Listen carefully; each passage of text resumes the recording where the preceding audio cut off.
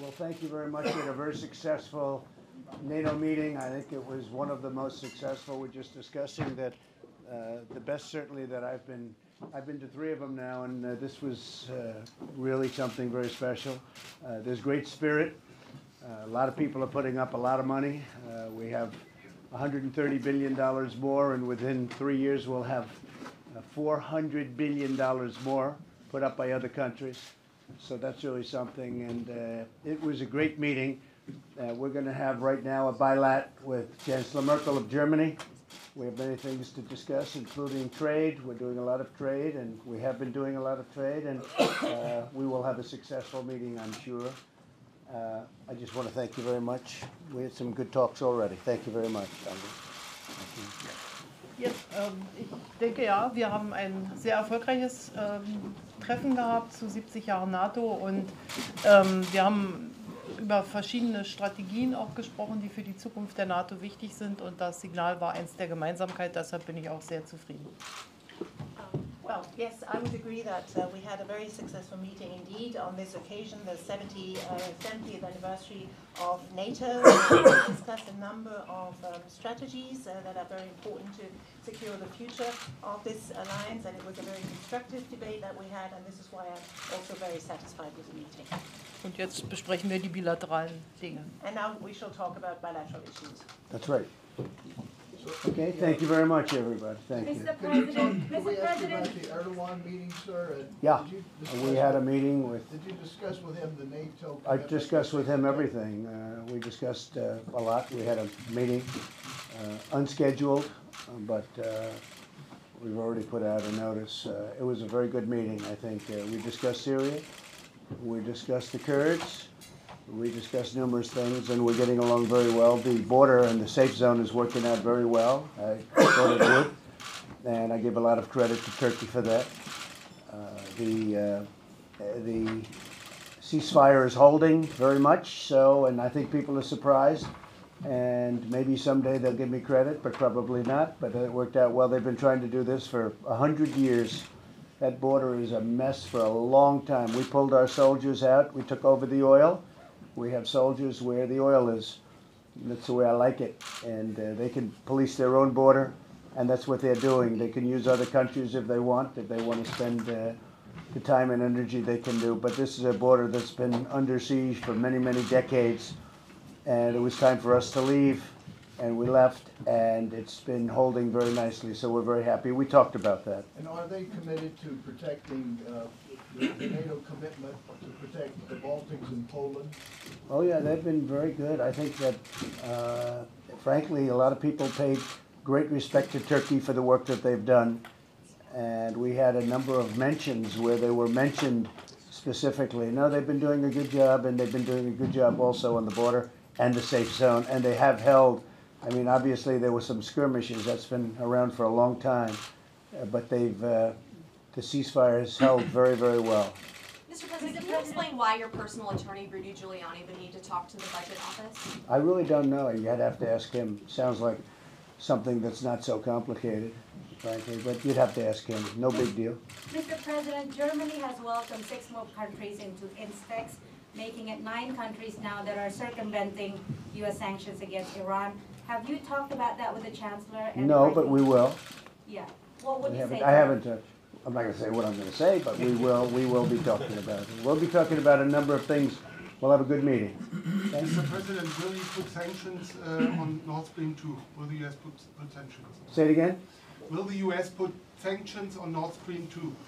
Well, we haven't really determined that yet. I do think it's a uh, problem, uh, but it's a problem that Germany's going to have to work out for themselves. Maybe for Germany it won't be a problem. I hope it's not, actually, but we'll be talking about that. And Nord Mr. Stream. Mr. President, what did you respond to President Putin's offer on a moratorium for medium-range missile systems, which he made in the end of October? We're talking to Russia about many things, including a uh, cessation on nuclear and nuclear creation. Uh, It's, in my opinion, the biggest problem the world has today. I think it's bigger than any other problem the world has today, and we're working very hard on it. And he wants to see something happen, and so do I, and so does China. Mr. President, do you talk about trade issues with Europe as well? We're gonna be talking about everything, yeah.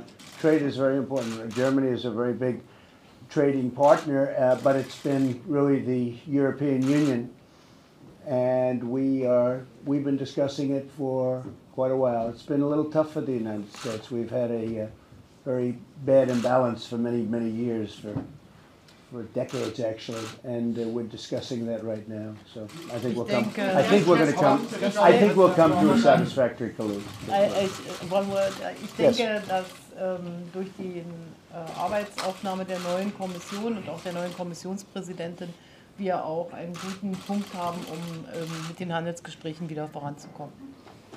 I think that Do you um, think the that- fact that there is a new commission in place and um, also under the leadership of a new president of the European Commission, uh, that now we have a very good basis to resume our trade talks as well. meetings have been set up and we'll talk and uh, I believe that uh, it will work out very well for everybody and I think it should. We have some very tough barriers to get over. They have, they've created barriers as Angela knows very well and uh, making it very hard for the United States really to, uh, to openly trade. Uh, and that can't be done. And so we're going to be talking about that and other things. Uh, I think we will solve it. We do a lot of business, but they do much more business than us.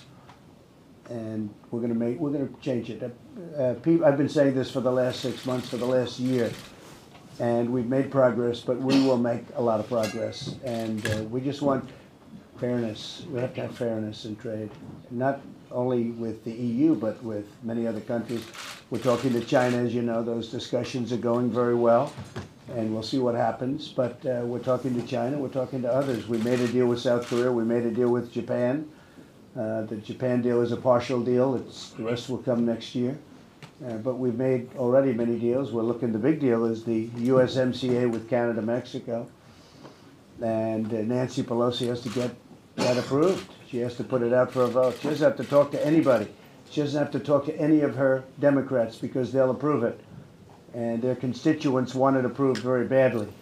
So that's where we are. We have, uh, we've made a lot of deals. And this is a deal I think that's going to be, uh, the EU is actually one of the more difficult deals we have because it's gone on for a long time unchecked. But it'll get there, I'm sure. Have you had a video of uh, Prime Minister Trudeau talking about you last night? Well, he's two-faced. Do you think that Germany is too naive? And honestly, with Trudeau, he's a nice guy. I, I find him to be a very nice guy. But you know, the truth is that uh, I called him out on the fact that he's not paying two percent, and I guess he's not very happy about it. I mean, you were there, a couple of you were there, and uh, he's not paying two percent, and he should be paying two percent. It's Canada; they have money, and they should be paying two percent. So I called him out on that, and I'm sure he wasn't happy about it. But that's the way it is. Look, I'm representing the U.S. and he should be paying more than he's paying, and he understands that. So I can imagine, I can imagine he's not that happy, but that's the way it is. Mr. President, where are you in terms of uh, persuading other allies in terms of uh, allowing China to build 5G networks? Well, I'm not working very hard on that, but I do think it's a security risk, it's a security danger, and uh, I spoke to Italy, and they look like they're not gonna go forward with that. Uh, We spoke to other countries, they're not gonna go forward. Everybody I've spoken to is not going forward. But how many countries can I speak to? Am I gonna call up and speak to the whole world? It is a security risk, in my opinion, in our opinion. We're building it, and we've started, but we're not using Huawei. Will you tax Germany for not paying enough in terms of defense spending? Well, Germany's uh, a little bit under the limit, I will say that, but we'll talk about that now. Okay, thank you very much, everybody. Thank you. I think what we'll do, just for purposes of this, uh, we'll be having a meeting with the two percent people.